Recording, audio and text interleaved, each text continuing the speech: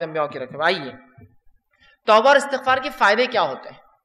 अगर इंसान तोबा करता है इस्तफार करता है तो क्या बेनिफिट्स उसको मिलते हैं इस चीज़ के? वो भी हम देखते हैं, चलिए आइए।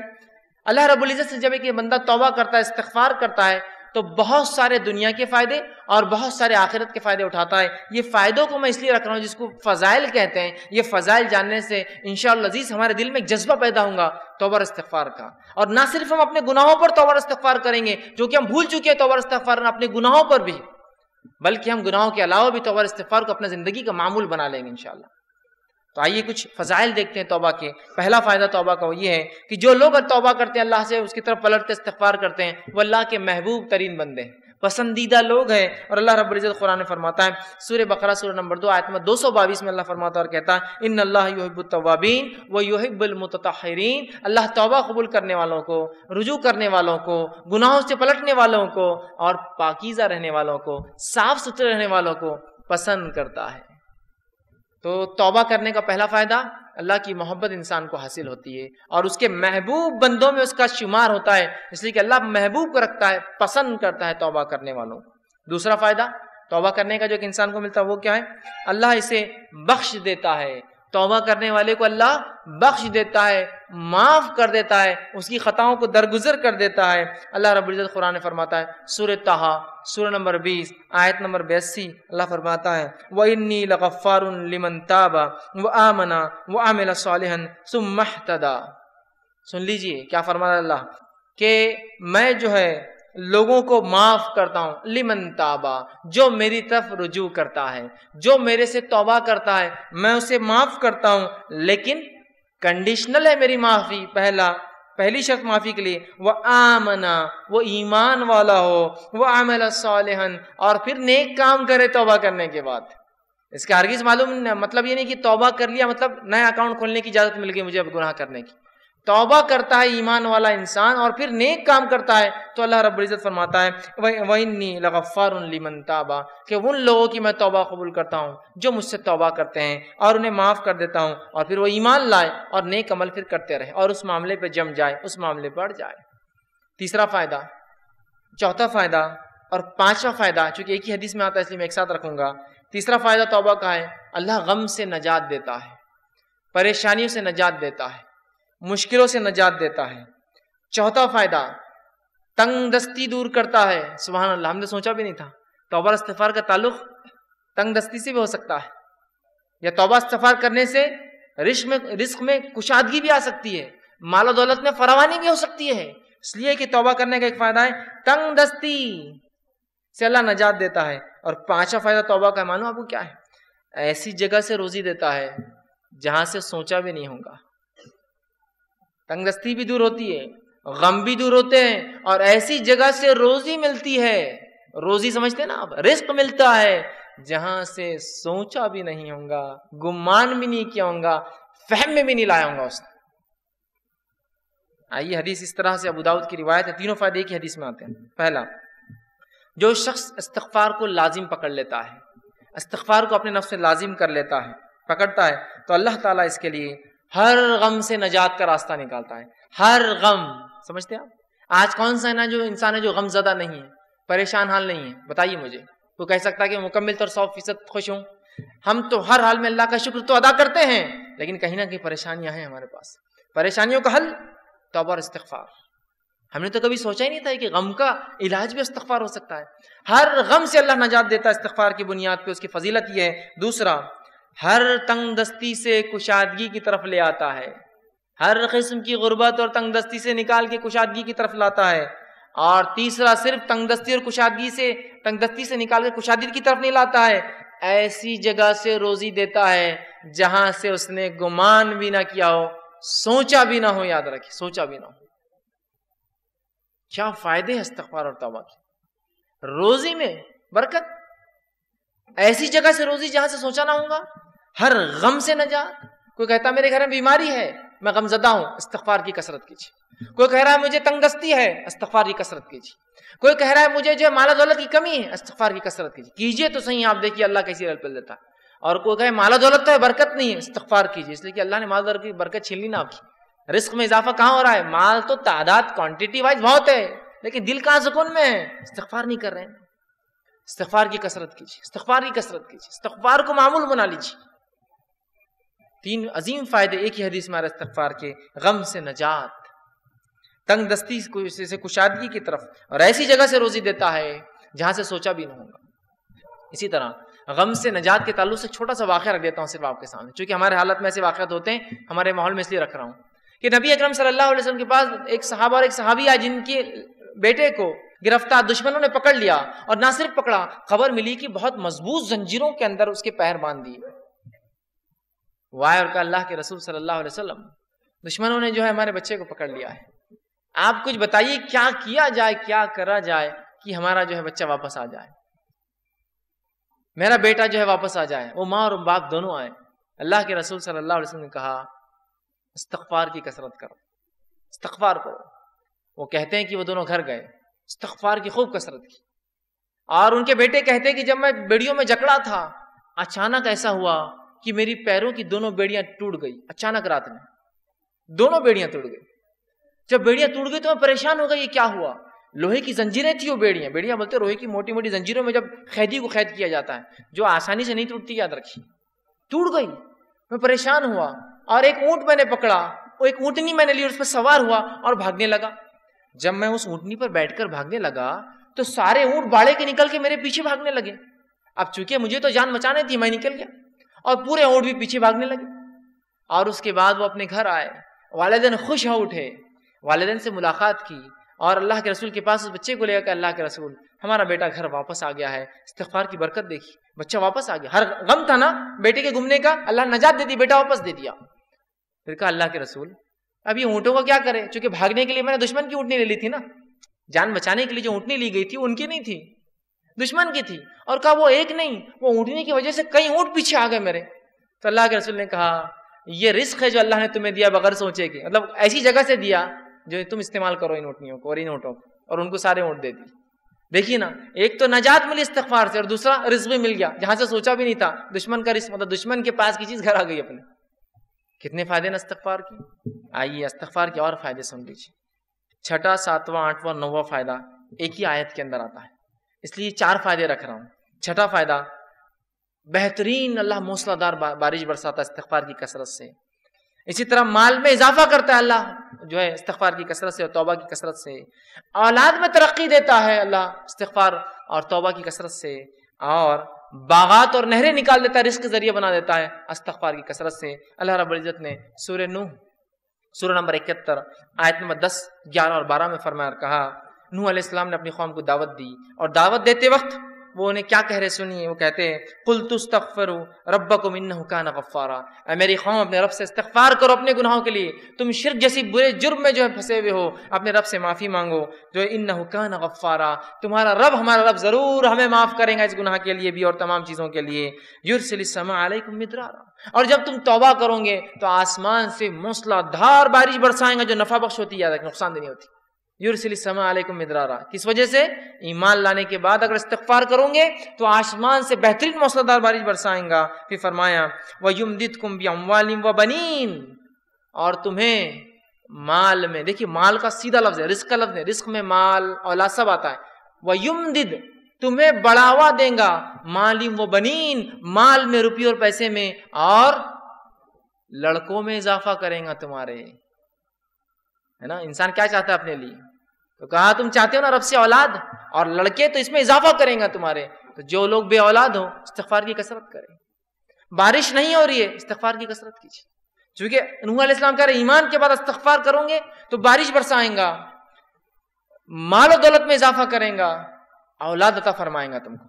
ठीक? फिर फरमाया वयज अल्लकुम जन्नाती वयज अल्लकुम अनहारा। और तुम्हारे लिए बेहतरीन बागात मैसर कर देगा और सिर्फ़ बागात नहीं बेहतरीन नहरें जारी कर देगा कि ना सिर्फ़ खेती हो, पानी वाली खेती तुम्हें अता फरमाएगा। चार फ़ायदे देखिए इस्तफार के कैसे एक ही साथ आ रहे हैं।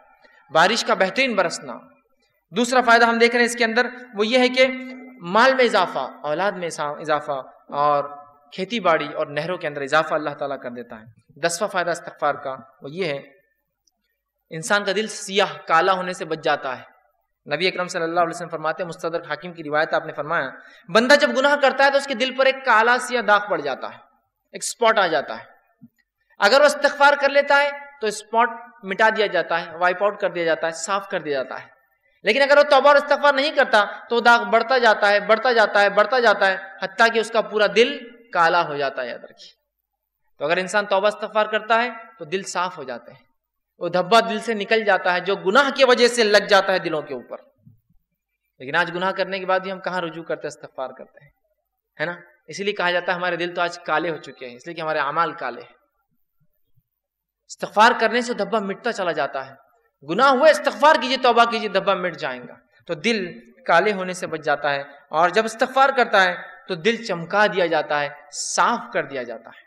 इसी तरह ग्यारहवा फ़ायदा तोबर इस्तफार का वो ये है कि तोबर इस्तफार से कितना ही गुनाह, बड़ा गुनाह क्यों अल्लाह माफ़ कर देता है? तोबा और इस्तफार जब इंसान करता है ना, कितना ही बड़ा गुनाह आपने और हमने क्यों ना किया हो, अल्लाह माफ़ कर, कितना ही बड़ा और सबसे बड़ा दुनिया में गुनाह कौन सा है? अल्लाह के साथ शिरक करना। अगर शिरक करने वाला भी तोबा करे सच्ची तो सच्ची तोबा के बाद अल्लाह उसके शिरक को भी माफ़ कर देता है, जिना को भी माफ़ कर देता है, कुफ्र को भी माफ़ कर देता है, निफाक को भी माफ़ कर देता है, हर किस्म के गुनाह को माफ़ कर देता है। और नमाज़ अगर छोड़ता है, तारे के, तारे कुसला है नमाज़ छोड़ने वाला तो उसके गुनाह माफ़ हो जाएँगे। लेकिन तौबा सच्ची हो और तौबा की शरात में भरन चल आ गया हूँ लेकिन जो बात आयत गुजरी आगे, वो ये है कि ईमान लाने के बाद अमल साले पड़ जाए। ये तौबा की शरात है, वरना ये नहीं कि तौबा कर ली और अगला गुनाह करना फिर शुरू कर दिया। गुनाह करने से हर गुनाह की माफ़ी, तौबा करने से हर गुनाह की माफ़ी मिलती है। हर गुनाह की शर्त यह है कि मौत से पहले या क़्यामत को बड़ी अलामत आने से पहले ये कर लिया जाए। मौत से पहले। इसलिए कि आपने हदीस फरमाया, जब खर खर खरखराहट की आवाज़ गले में शुरू होती ना, नजात की हालत, मौत से करीब खर खर आवाज़ आती है गले से, इंसान मरने के करीब होता है। तो तब की गई तोबा कबूल नहीं होती है। जैसे कि फिरौन ने भी तोबा की थी, जब वो गर्क हो रहा था, सही बुखारी की रिवायत। गर्क हो रहा था माँ देख चुका था, तोबा की, अल्लाह ने तोबा कबूल नहीं की और डूब को माना गया। तो डूबते वक्त कहा, मैं ईमान लाया, मूसा हारून के रब पर, काम नहीं आई लेकिन तोबा। तो इससे पहले की मौत आए, तोबा कर ले या कोई अलामत आ जाए, क़्यामत की तोबा ज़रूरी याद रखिए हर गुनाह की तोबा अल्लाह माँ करता है। लेकिन ज़िंदगी में याद रखिए मरने से पहले। मरने से पहले और नजात की हालत मतलब मरने के बाद और नजात की हालत से पहले अगर तोबा ना हुई तो फिर तोबा की गुंजाइश नहीं याद रखी। तो जो गुना हमसे हुआ हो, कितना ही बड़ा क्यों ना हो, सच्ची तोबा अपने रब से कीजिए, याद रखिए तोबा तो नसूहा कीजिए। इन अज़ीज़, हमारा रब को हम पाएँगे कि वह हर गुनाह को माफ़ करता है। आइए बारवा फ़ायदा। सच्ची तोबा करने से, सच्ची तोबा करने से एक ऐसा अजीम फ़ायदा सुनिए।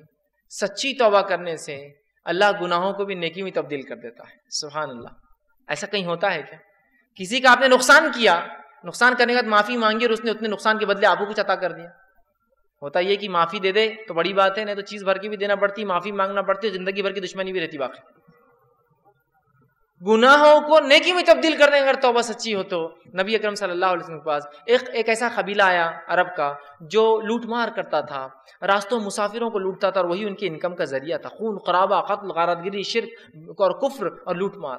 वाह का अल्लाह के रसूल, क्या हमारी तोबा है? मतलब हम अगर तोबा करना चाहते हो कि हमारी तोबा है, जो इतने गुनाह हम ज़िंदगी में कर चुके हैं, और आज कौन सा ऐसा इंसान है दुनिया में जो माफ़ी नहीं चाहता अपने गुनाहों के लिए? रास्ता ये है माफ़ी का, रास्ता ये है माफ़ी का। हर इंसान चाहता है उसे गुनाह माफ़ हो। हर इंसान रिपेंड करना चाहता है तोबा करना चाहता है इस्तफार करना चाहता है अपने रब से। यह है तरीका तोबा का। तो कहा हमारी कोई तोबा है? तो अल्लाह रब्बुल इज़्ज़त ने एक पूरी तवील आयत नाजिल की कि वो लोग जो कुफ्र करते हैं कत्ल करते हैं ठीक है और जो है जो है आ, उसी में जो है कुफ्र और शिरक और कत्ल गारदगरी में उनकी मौत आ जाती है तो अल्लाह इनके इनसे अजाब को नहीं हटाएँगा। लेकिन आगे फरमाया जो कि जो है आयत इस तरह से अल्लाह फरमाता है, इल्ला मन ताबा व अमल अमलन सालिहन, फ़उलाइक युबद्दिलुल्लाहु सय्यातिम हसनतिन व कान अल्लाहु गफूर रहीमा. अल्लाह ने फरमाया, इल्ला मन ताबा, इन गुनाहों के बाद अगर कोई तौबा कर ले शिर किया था ख़त्ल किया था जो कुछ किया था अगर तौबा कर ले वह आमना, और पहली शर्त ईमान लाए, और अलहमदिल्ला हम तो मुसलमान हैं तो ईमान तो ईमान वाले हम है ही। उसके बाद दूसरी शर्त वो अमल अमलन सालेहन और उसके बाद नेक काम शुरू कर दे, अमल सालेहन फ़ुलाई का तो अल्लाह फिर इस अमल के बदले की ईमान वाला है, सच्ची तौबा किया। उलाय का युबदिल्ला सयातिम तो अल्लाह बदल देंगे उनके गुनाहों को हसनात, नेकियों के अंदर। सुहान अल्लाह और आगे फरमाया वकान अल्लाह गफूर रहीमा और अल्लाह ताला तो माफ़ करने वाला और रहम करने वाला है। तो गुनाह भी नेकी में तब्दील हो सकते हैं अगर सच्ची तौबा इंसान की हो तो। इसी तरह इब्ने माजा की रिवायत है। आप सल्लल्लाहु अलैहि वसल्लम फरमाते कहते हैं, अगर तुम इस कद्र गुनाह करो कि तुम्हारे गुनाह आसमान तक पहुँच जाए। लेकिन इन हदीसों को बिल्कुल राइट कॉन्टेक्स्ट में लीजिए, बिल्कुल सही मानों में लीजिए।